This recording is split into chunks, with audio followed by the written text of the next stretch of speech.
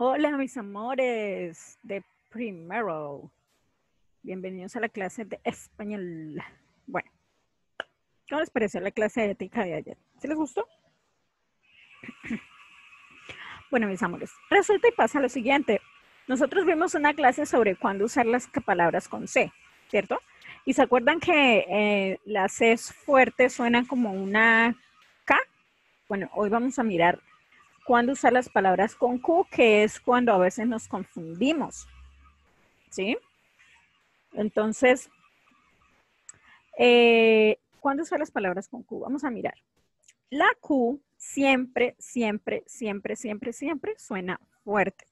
Siempre. Como la K, como el kiwi, como K. ¿Sí? Pero se llama Q.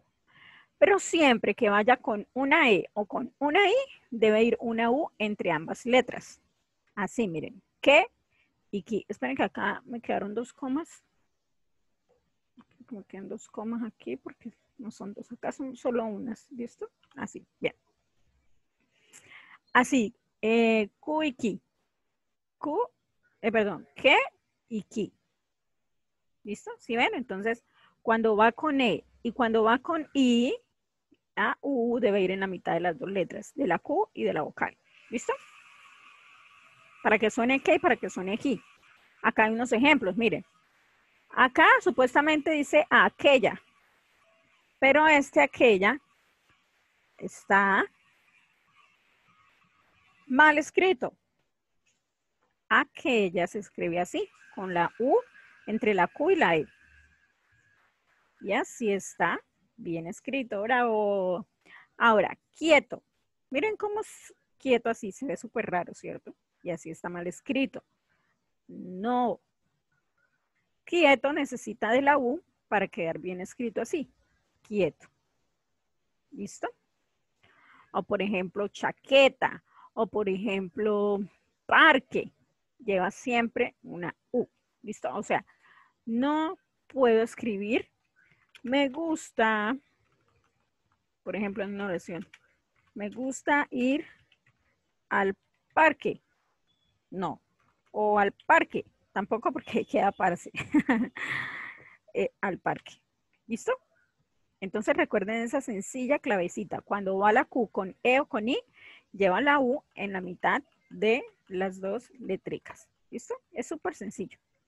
Pero vamos a hacer ejercicios en el libro, porque los ejercicios en el libro están diseñados para que sean chéveres, para que podamos aprender más los temas que estamos viendo en, primero. ¿Listo? Así que vamos a ir ahora al libro, a la página 69. El primero que llegue, a la una, dos a las tres.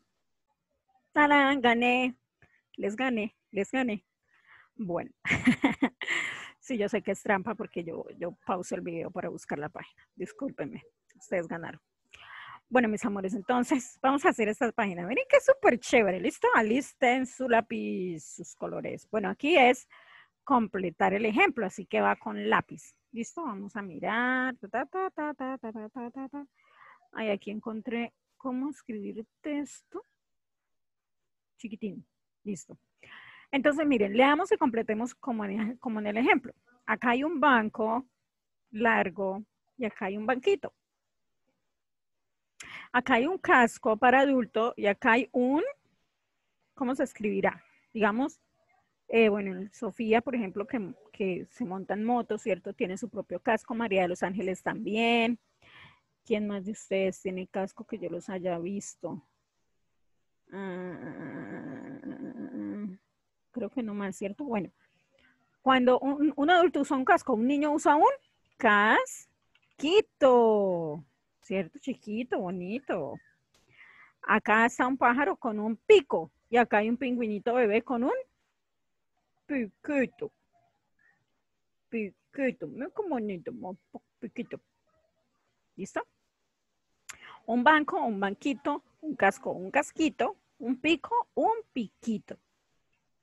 ¿Listo?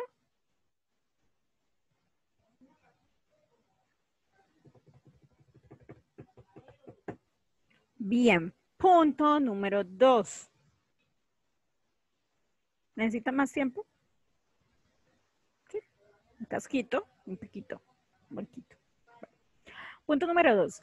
Lee el siguiente trabalenguas y encierra las sílabas.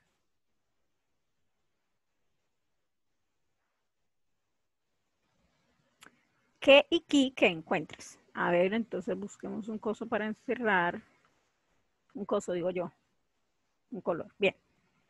Leamos el trabalenguas. Queso, queso, queso ricotón. Él quiere queso, queso quiero yo. Más rápido. Queso, queso, queso ricotón. Él quiere queso, queso quiero yo. Los trabalenguas, hay que, los trabalenguas son chéveres, pero entonces cuando uno ya se lo sabe, hay que, hay que desafiarse y decirlo más rápido, más rápido, más rápido, esperando que la lengua se trabe. Es un trabalenguas. ¿sí?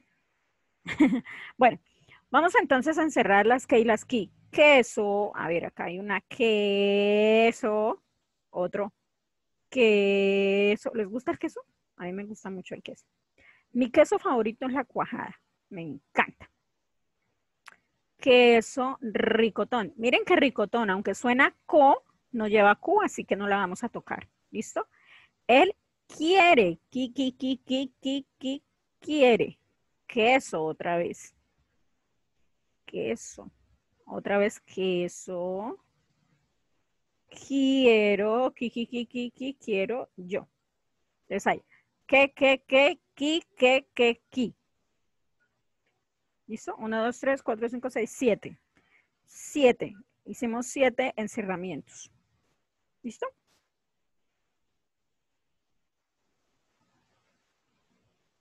Y el punto número 3. Es que no me gusta esto porque cuando subo, miren lo que pasa.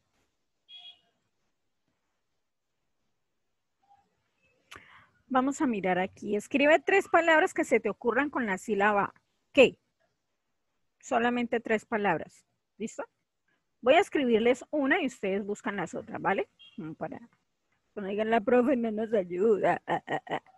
Bueno, eh, a ver, voy a pensar. Vayan pensando ustedes las suyas y yo pienso la mía. Porque es que ya tenía, pero ya se las dije, entonces voy a pensar otra por si ustedes la quieren coger. Mm, listo. Pequeños. ¿Listo? No tienen que empezar por qué, ¿ok? Pero que sí que la incluyan. ¿Listo? Hay muchísimas. Y yo ahorita les dije una, ¿se acuerdan? Les dije una, que es una prenda de vestir. ¿Sí? Que a veces hay de cuero, a veces hay de lana, a veces hay de tela. Bueno, ya les dije las pistas. Y la otra sí la buscan ustedes. O si quieren cambiar, la cambian. ¿Listo? Bueno, mis amores. Tres palabras que se nos ocurran con qué. ¿Qué, qué, qué, qué? Recuerden que debe ir la U entre la Q y la E. ¿Listo? Vamos a pasar a la página 70, 70, 70, 70 y 70, 70, esta, esta, aquí. Otro trabalenguas. Repite el trabalenguas y encierra las sílabas que, que y que. Es una actividad igual a la otra. Bien. 15 quitasoles a qué? 15 quitasoles di. Con tanto quitasol que repartí, sin quitasoles me fui. Ahora, por favor, leanla ustedes.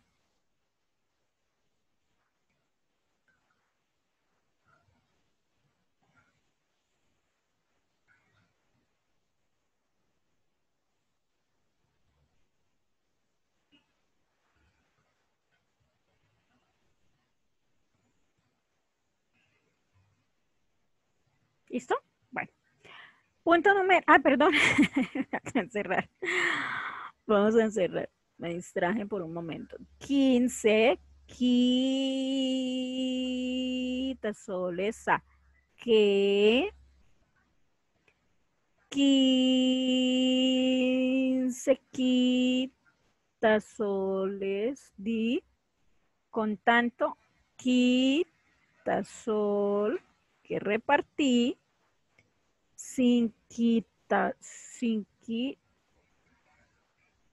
solo me fui. Ay, pero aquí se me olvidó este.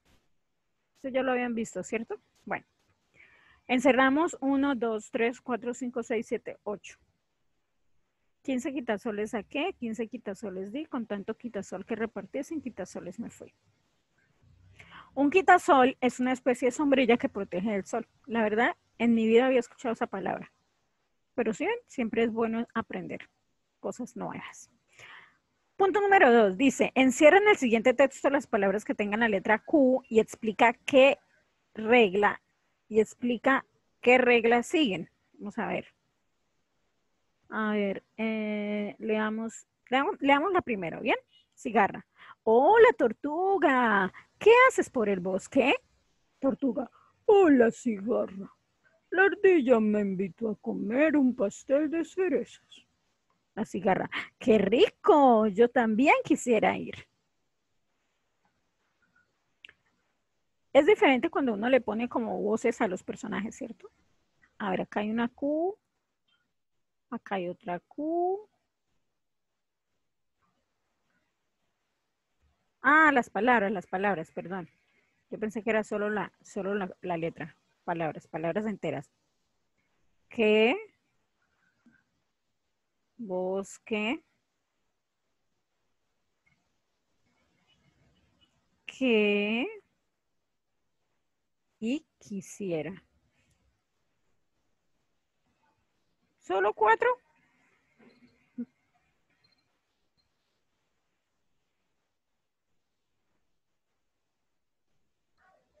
Bueno, listo, solo cuatro. Ahora, ¿qué regla o digamos, como ¿qué tienen en común cada una de esas palabras? ¿Mm? La regla que vimos, ¿cierto? Que cuando la Q va con E o con I, llevan una U en la mitad, ¿cierto? Eso es lo que estamos viendo acá, para que nunca se nos vaya a olvidar. Cuando es que y cuando es que, siempre la Q va con una U en la mitad entre ella y la vocal. ¿Listo? ¿Listo? Ahora, si le soy sincera, yo nunca, o sea, casi, no sé, pues, quizás, ay, pero yo nunca, o sea, así, es muy difícil encontrar una palabra así, así. Realmente se usa es o así, por ejemplo. no, realmente se usa con E y con I. ¿Sí? si ustedes conocen una palabra con esta o con esta, por favor me la mandan, ¿sí?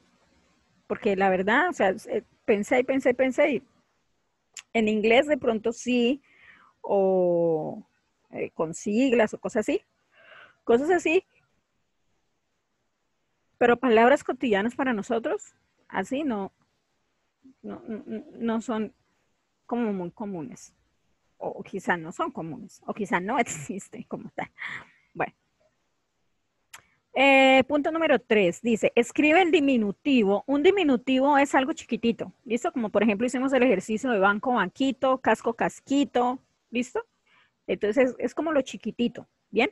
Escribe el diminutivo de las siguientes palabras en tu cuaderno.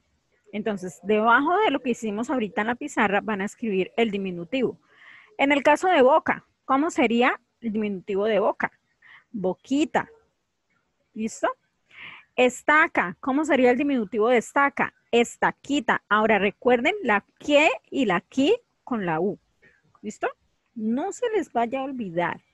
O sea, boquita, bien, estaquita, ¿listo? Y así. Tuerca. ¿Cuál será el diminutivo de tuerca? Tuerquita. Saco. ¿Cuál será el diminutivo de saco? Saquito. Y los cuatro de abajo voy a dejar que ustedes mismos los piensen y los y digan, ¿cómo será barco? ¿Cómo será placa? ¿Cómo será frasco? ¿Cómo será taco? ¿Listo? Y ustedes lo, lo escriban, ¿listo? Pero escriben los ocho en el cuaderno, ¿vale? Allá donde tenemos el, el este. Bueno, de hecho, vámonos para la pizarra. Aquí, listo. Entonces, ustedes debajo de esto empiezan a escribir boquita, estaquita y las demás. ¿Listo? Bueno, eso es la clase de hoy. ¿Listo? Eso es la clase de hoy. No les voy a dejar tarea, pero sí les voy a dejar tarea. O sea, no y sí. Porque la tarea de hoy va a ser... Tan, tan, tan. Lean, por favor.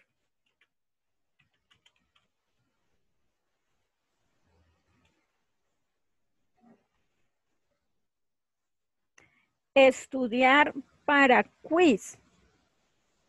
¿Listo? Mm, vendría siendo ah, para el jueves, o sea, de hoy en ocho. Porque el martes vamos a tener concurso de ortografía, yay. Ahora, el primer concurso de ortografía que tuvimos lo tomamos como un quiz, ¿cierto? El que vamos a hacer mañana, perdón, el martes, el que vamos a hacer el martes, este, lo vamos a hacer así como para divertirnos y eso, sin, como sin la presión de que se anota, ¿vale? Entonces sí vamos a hacer un quiz para incluir los sinónimos, los antónimos, eh, las sílabas que vimos hace, hace rato, por hace parte del, segundo periodo. Em, vamos a ver este, sobre, sobre, sobre los personajes, el nombre sustantivo, bueno, todo lo que hemos visto en el segundo periodo que empezó el 27 de abril. ¿Listo? Entonces, el concurso de ortografía, ¿qué pasa? El concurso de ortografía nos sirve mucho, pero entonces ahí no, vamos a mirar ni sinónimos, ni antónimos, ni verbos, no. Sino, por ejemplo, estos, temas de usar la Q, de usar la C, hasta las sílabas están ahí. Pero otros temas no, así que por eso necesitamos el quiz. ¿Vale, mis amores? Entonces, estudiar para quiz para el jueves. Por eso no tienen tarea fin de semana de español. ¡Yay! Primero. Segundo, el martes la clase de español va a ser por Zoom porque vamos a tener el concurso de ortografía. ¿Listo? Eh, por Zoom. Así que la próxima semana prácticamente no vamos a tener clase de español como de escribir mucho o cosas así, porque van a ser actividades lúdicas, súper. Ah, bueno, bueno, en el quiz van a tener que escribir, pero para responder. ¿Listo? Mis amores, les voy a decir cómo estoy haciendo los quizzes, eh, especialmente estos pues más teóricos con ya acercándonos al segundo periodo. Bueno, yo les voy a pedir que por favor estudien, porque la idea es que no miren el cuaderno. Bien, la idea es que no miren el cuaderno. La idea es que ustedes respondan de lo que han aprendido. ¿Sí? Entonces, yo voy a necesitar de toda su honestidad para responder el quiz. ¿Listo? Para que ustedes respondan lo que saben, lo que han aprendido. Así que por favor echen un repasito rápido, aunque si han estado atentos y haciendo todas las actividades, yo sé que va a estar súper fácil porque ustedes son súper inteligentes. ¿Bien? Así que por eso no les dejé tareita para que hagan un repaso bien, bien, bien poderoso. ¿Listo? Y listo, mis amores hermosos. Entonces terminamos la clase de español. Nos vemos el martes otra vez para español, ¿no? por Zoom. Y obviamente tenemos clase. Hoy tenemos más clases, mañana tenemos clase, el lunes tenemos clase. Y listo, mis amores. Si quieren, escribamos acá. Próxima clase. Concurso de ortografía.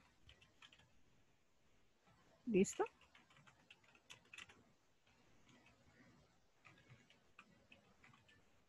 Ah, ortografía. Ay, ¿qué está pasando? Ya. Listo. Y listo, mis niños. Entonces terminamos por hoy la clase de español.